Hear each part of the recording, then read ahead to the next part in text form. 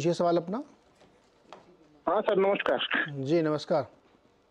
Sir दो share पे सवाल था। एक तो सर था कि पेटीएम कभी अपने इशू प्राइस पर पहुंचेगा दो चार साल में या नहीं?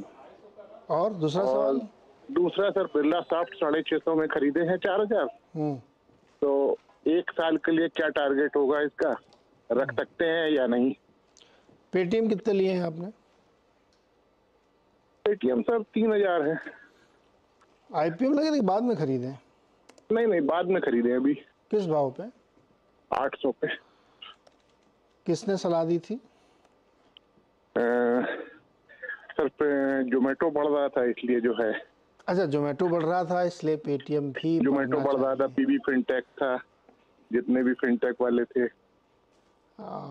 लॉजिक तो सही बैठाया था आपने लेकिन गड़बड़ हो गई। गवाजी की मदद लेते हैं। गावा जी पहले पेटीएम पर ही। हाँ जी। 800 के भाव पर पेटीएम के 3000 शेयर राजेश ने ले लिए।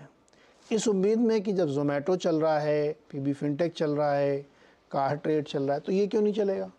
ये कैसे तरीका है? सब लोग शादी में खुश हैं शादी करके खुश है तो मैं भी खुश हो जाऊँगा इसलिए मैं भी शादी करता हूँ। या सब दुखी है तो मैं भी शादी नहीं करता। ऐसा थोड़ी होता है। सर बारात में जो जाते हैं वो सब खुश रहते हैं। सब ऐसा ये सवाल कि वो हो रहा है तो हमारा भी होगा। आप। ले रहे पेटीएम तो पेटीएम पर ध्यान दीजिए।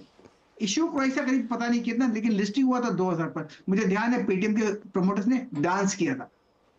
वो मुझे आज भी याद है लेकिन है स्ट्रक्चरली वीक अब भी वीकनेस है स्ट्रेंथ नहीं है पेटीएम में। एक अपू मिला था वो करेक्टिव अपू था। तो 1010 का एक रेसिस्टेंस था 1020 का मेरे ख्याल से वहाँ पर जाके उसके आसपास से लौटा। अब तक तो वीकनेस है पेटीएम में। तो मेरे ख्याल से स्टे अवे 2150 तक गया था। कहीं कभी जाएगा सर वहाँ तक? हो सकता है यू नेवर नो फिर डांस करना पड़ेगा इनको।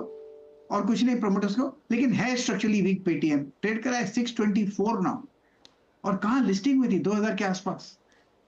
दो हज़ार इन्होंने 2000 के बाद लिया है वो आज दुखी है।